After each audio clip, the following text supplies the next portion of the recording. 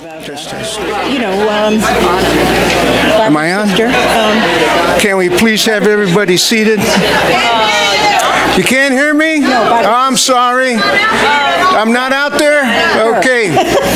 Can we please have everybody take a seat? I'd appreciate that. And those that don't know me, Jamie Alvarado, you're probably stunned right now. Okay, I'll explain it to you later after church if you want to hang around. There, I'm doing this biblically, honoring. So,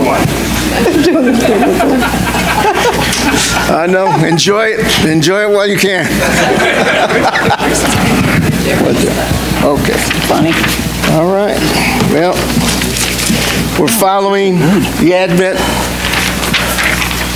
situation here, and so I will open up in prayer. Lord God, praise you because you deserve to be praised, glorified, and honored, dear Lord Father. You are unbelievable. We thank you for the precious gift that you gave us, undeserving, but your love for us is what brought Jesus here. We thank you for that. We thank you for that precious gift, dear Lord.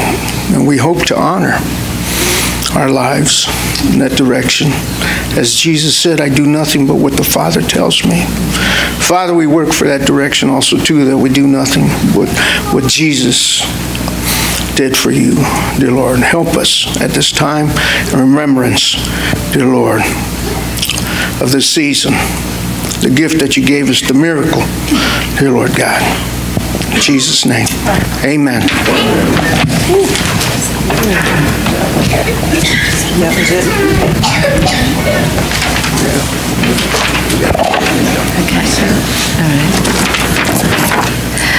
The word of the Lord from the prophet Isaiah. A voice is calling. Clear the way for the Lord in the wilderness. Make smooth in the desert a highway for our God. The people who walked in darkness have seen a great light. Those who dwelt in a land of deep darkness, on them has light shone. You have multiplied the nation, you have increased its joy. They rejoice before you as with joy at the harvest, as they are glad when they divide the spoil. For to us a child is born, to us a son is given, and the government shall be upon his shoulder, and his name shall be called Wonderful Counselor, Mighty God, Everlasting Father, Prince of Peace. Oh, we're good. I'm, I'm good right there. About 2,700 years ago, the prophet Isaiah foretold the coming of Jesus Christ. He prophesied that a voice would call out, Make straight the way of the Lord.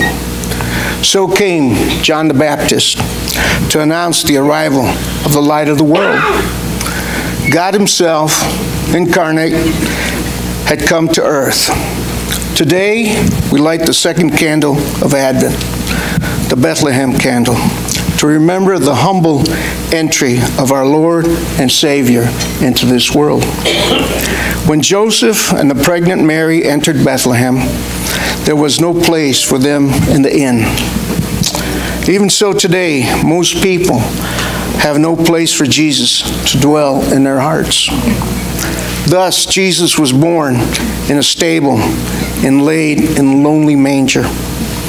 He was willing to endure every hardship, rejection, and humility to rescue us from the dominion of darkness and bring us into his kingdom of light. The only party there to celebrate the arrival of the King of Kings and Lord of Lords was a group of shepherds that lived nearby. The very shepherds that raised the lambs that were sacrificed in the temple of God. These shepherds were given the honor of welcoming the true and final Lamb of God. As John the Baptist announced 2,000 years ago, Behold, the Lamb of God who takes away the sins of the world. Go ahead on.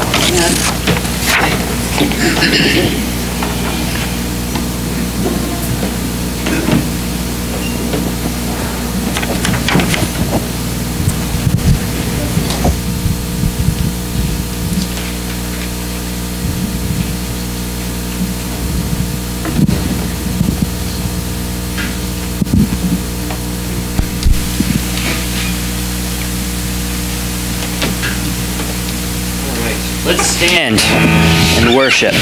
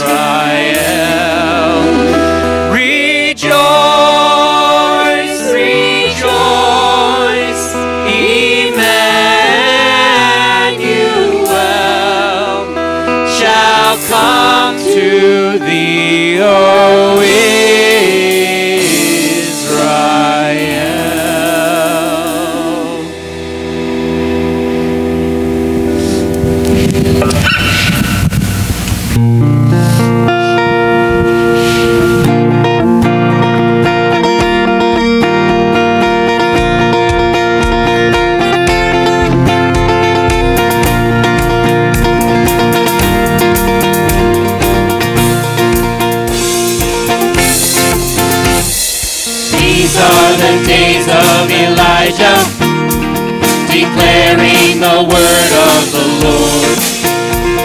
And these are the days of your servant Moses, righteousness being restored. And these, are days of great trial, of famine and darkness and sword. Still we are the voice in the desert, crying, prepare ye the way of the Lord. Behold, he comes, riding on the clouds, shining like the sun. At the trumpet call, lift your voice, the year of Jubilee. Out of Zion till salvation comes.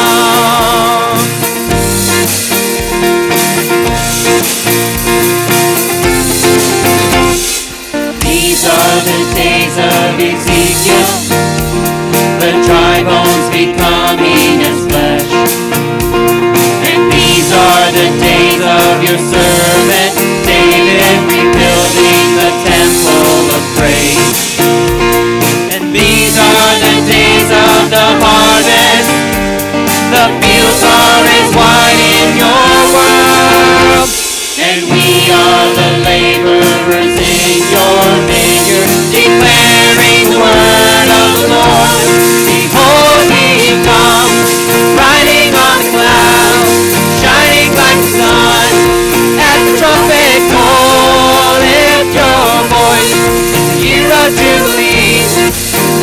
dying salvation comes.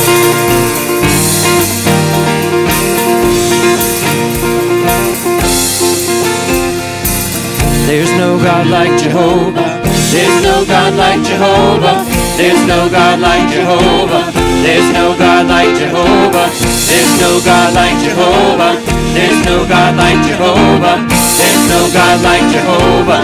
There's no God like Jehovah. There's no God like Jehovah. There's no God like Jehovah. There's no God like Jehovah. There's no God like Jehovah.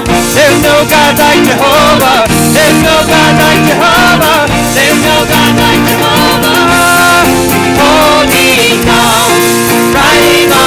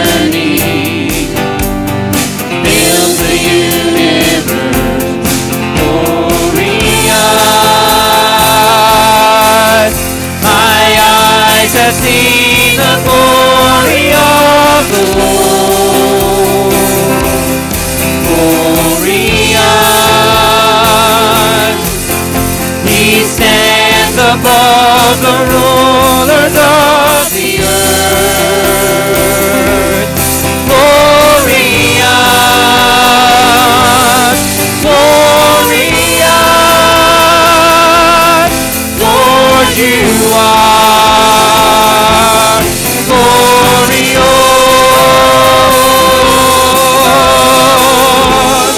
You are glorious.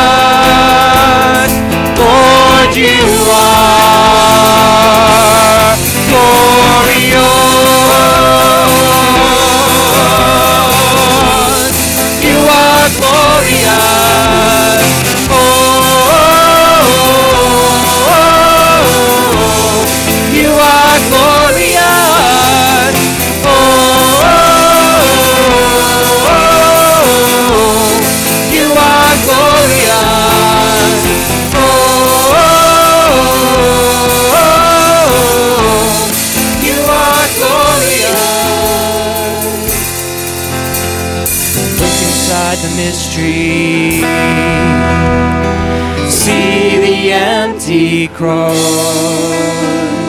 See the risen Savior. Victorious and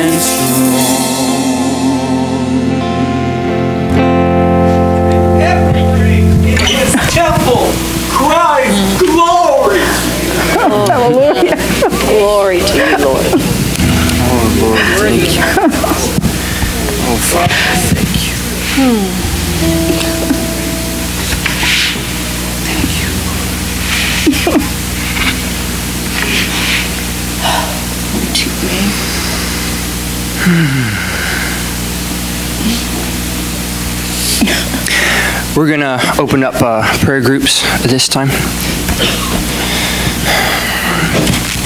We serve a good, good God.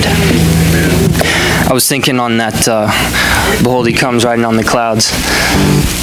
We're all called to be there, to do that at the end of times. But what a joy it will be.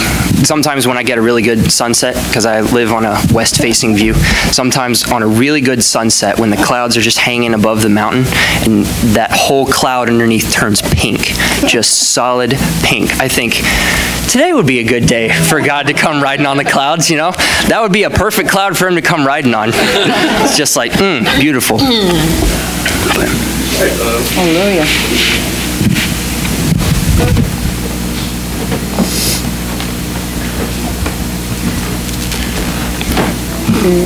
Amen, brother. And Bo just announced that we're going to have prayer groups. If you have a need, come. One of the things that's really been a blessing to me uh, when I pray, and sometimes you know how when you kind of pray, it can become a routine thing, and you just have to check yourself. And I've shared this before, but um, one of the things that Anselm, an early father, said that has been such a blessing to me, um, and I'm, this is a paraphrase God, God is He who is that than which nothing greater can be thought. So, whatever you can think about God, He's greater. And one way that I apply that practically to help me get out of a out of prayer as a routine mechanical thing and, and to make it very real is to remind myself that as I pray to this God, He hears me beyond anything that I could even think or imagine. He He hears my prayer like I wish I really could pray it, but can't. So he assists me, the Holy Spirit assists me in my prayer. And he's deeply personal. He loves us. He wants to meet meet us. And sometimes we don't know how to pray, but if we just come to him, that in and of itself is saying, Lord, I need you. I need the great I am. I'll pray the best I know how, but you know what I really need. So I'll leave that in your hands ultimately. But um, Brian, um, I just thought it'd be good for us to pray corporately for um, the, the couple things you're going to lead us in prayer for. Come on up if you will. And Lucas uh, shared with me before the meeting. Um, many of you will remember Dale and Martha Randolph. They are Cherie Morell's parents. Is is Cherie here this morning? Okay, she's with her mom. Well, they live um, um, at Bal- Baldwin Park, And uh, Dale right now is in the hospital with, uh, he's had the flu, you know, that's going around, and especially at that age, it's very serious. And um, I, I just would like for us as a church to pray for Dale. Here's a man and his wife who have served the Lord throughout their lives. God has used in a profound way uh, in the word going forth around the world. That was God's calling on their lives. But in this season in Dale and Martha's lives, let's just lift them up before the Lord. And then Brian will lead us in prayer for a couple other things. Father, thank you for Dale and Martha. May the peace that passes understanding guard their hearts and minds in Christ Jesus during this time. Lord, even as Dale struggles with dementia, may that peace capture his heart and overflow his heart. And as Martha, Lord, is concerned for her husband, may her heart also be filled with your peace. Lord, we pray this to you who hear our prayer better than we can pray it. And you, you know. And Lord, I just feel very strongly that you hear the prayer of this church as we lift this couple before you. And we just pray that you will minister to them in a very, very powerful way. Just bless Cherie and her sister as they also are helping care for their parents. And just may your grace be upon their family. In Jesus' name, amen. As John was suggesting, um, uh, Debbie Hockman, uh, I believe she went in the hospital on Friday. Is that right? Friday. Um, and uh, she's getting catheterization to her heart today, tomorrow. Sorry, I don't have the dates, but um, we'd like to lift her up in prayer. Uh, she's having some issues with that, and just uh, like to, to pray for her as well as uh, Adrienne Meisenheimer. You guys remember her, her and her husband. Um, Adrienne's mother uh, died a few weeks back. I don't remember exactly when. They're having a memorial service, but it's just been a hard, long road for her as well. So let's pray. Lord, thank you for thank you for our, our, our brothers and sisters, and uh, we can be joyful when they're joyful, we can share each other's sorrows as well. And uh, Lord, we know that you you are a relational God, and we thank you for that. Lord, we ask you that you would touch uh, Debbie as, as she undergoes this uh, the catheterization. Lord, that you would you would be there, give her peace. Um, Lord, bring her through this. Lord, we know that you are the healer, um, but we have some cool technology that you've given us uh, to be able to help. Uh, we look to you for, for you to be a part of this. We also uh, ask that you would be with um, Adrienne as, as she just continues to just process uh, the loss of her mother. Uh, Lord, we thank you that uh, she is in, in she's with you. Um, it's not uh, it's not a painful situation anymore for her, for uh, Joe, but it, it's it's difficult for for those who are still here. We ask that you would give her peace, and uh, we also we also lift up Mandy as she continues to re- recover from from knee surgery. Um, give her strength as well and the fortitude to be able to continue that.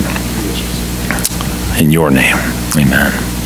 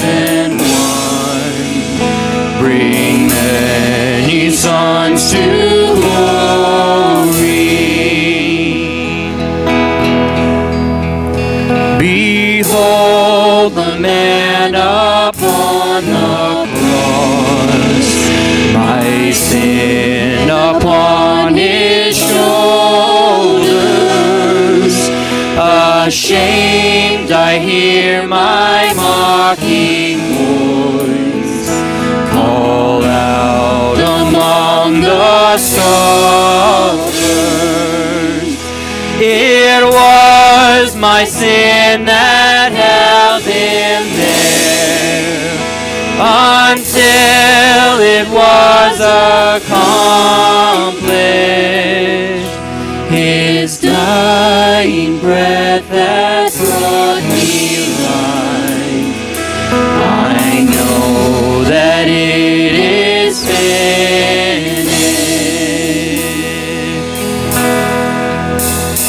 I will not boast in anything.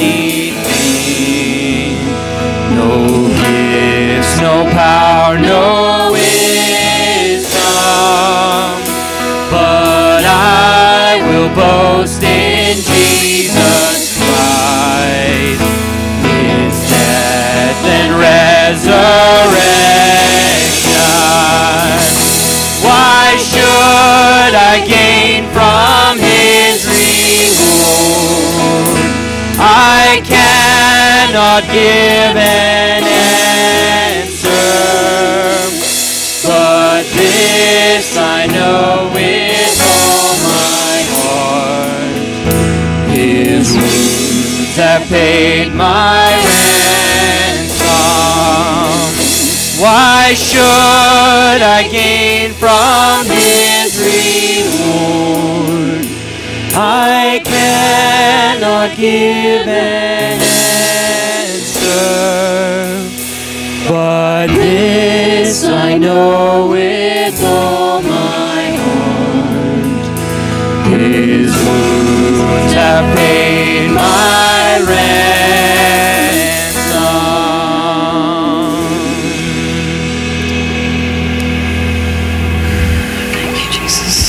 Thank you, Lord Father. You are so good to us. My sin held him there on the cross. Faithful unto death, even the most brutal, torturous death. We praise you and we thank you, Lord, for your sacrifice, the ultimate price to pay. And thank you that you rose again, that you did not stay dead.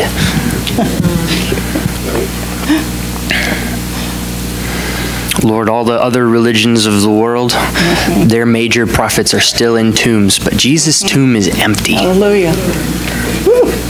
The stone was rolled away. Thank you, Lord. We praise you, we thank you, and we love you, Lord. In Jesus' name, amen. Amen. You may be seated.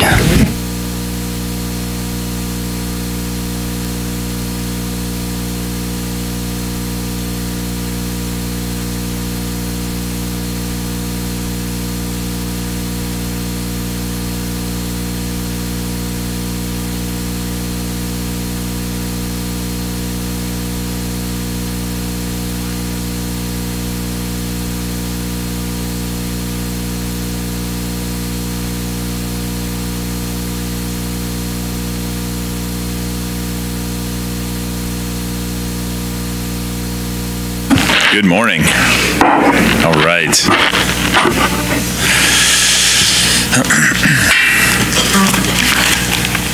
I, uh, I've been, a lot of times I get to work by myself for a little while on things and sometimes that's good and sometimes that's bad. I don't know if you guys ever ever get this opportunity, but uh, when you when you work by yourself, you're kind of stuck in your head sometimes, especially when you're doing. Some, I've been digging uh, by hand yesterday for a while, and it really doesn't take a whole lot of brain power. I'm gonna tell you. So my mind's just kind of sitting there, just you know, spinning, eating whatever's in there, and You know, I, I really got to thinking. Uh, I can I can let my mind wander off into really dark places really fast, and I find myself almost getting offended at stupid stuff um, because I kind of almost I don't know I, I just choose to allow that to allow that to happen.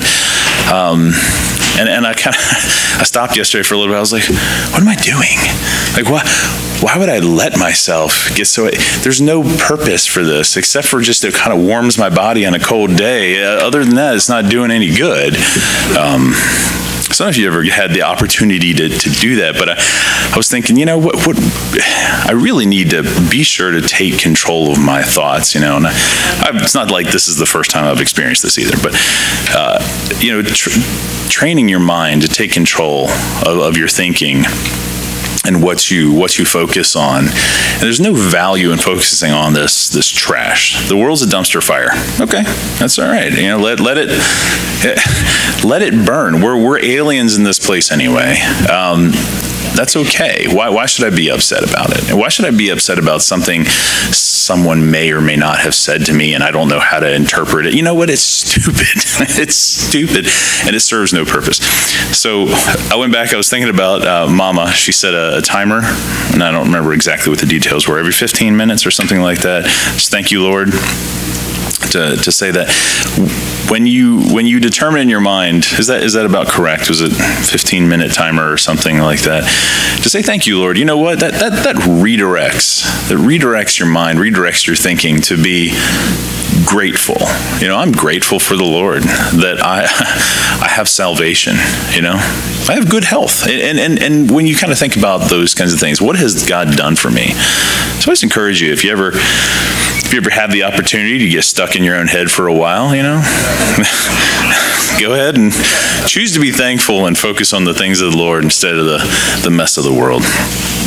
Um, we, uh, you know, as we prayed for earlier, um, Adrienne Meisenheimer, her her mom went on to be with the Lord, and uh, just wanted to let you guys know the service, she's having a memorial service today at 2 o'clock at the Seventh day Adventist Church in, in Stanton. So if you've got a little time this afternoon, it'd be good to probably just go, go pay her a visit.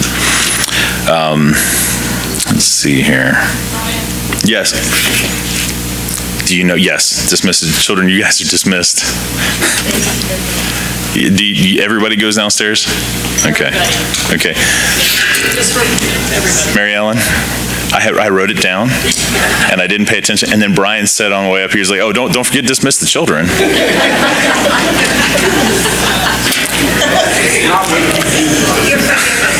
I just, you know what?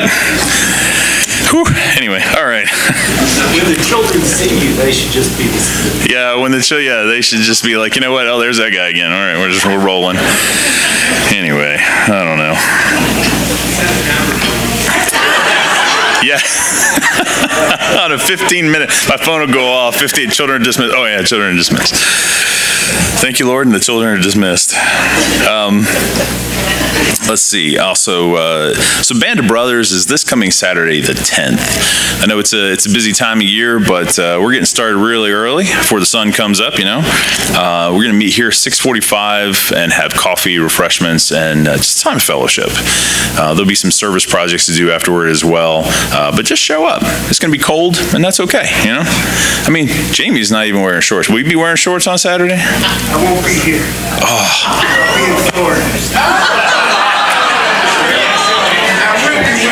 You will be wearing shorts? Man, I saw you today, no shorts. I was like, what happened? Did you mess up all your good shorts? You know, like, what's all right. Well, uh, this year, Christmas Eve service is going to be here at 5 p.m. So we're talking about it now, so everybody kind of gets a gets a heads up for it. Um, the Christmas Eve is Saturday, right?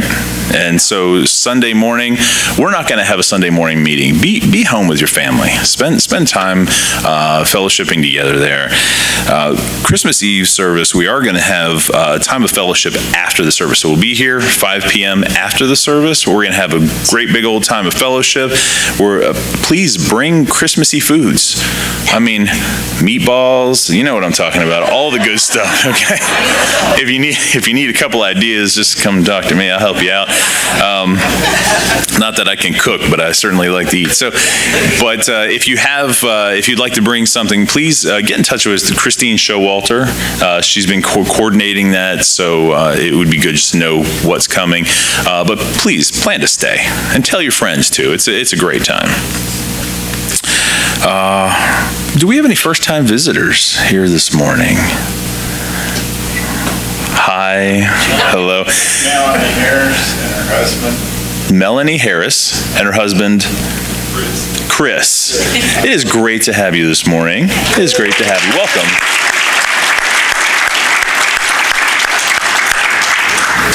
Anybody else first time? Nope. Just the goodies, man. Everybody, the old, the oldies and goodies. Okay. Um, let's take a five minute break, and Brian is going to bring us the message from Luke 2. So, Hey, Brian. yes, sir. It's a prayer meeting. Of course. It's on here too. I don't know why I do this anymore. No. we are, in fact, this Wednesday having a prayer meeting here, 7 p.m. Um, please come. It's, it's a great time to just pray together. Good time fellowship as well. Uh, so here, Wednesday, 7 p.m. Be there, be square. All right. You want to go over your list real quick and make sure?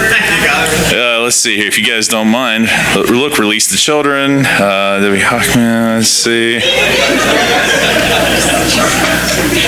Nope, nailed it.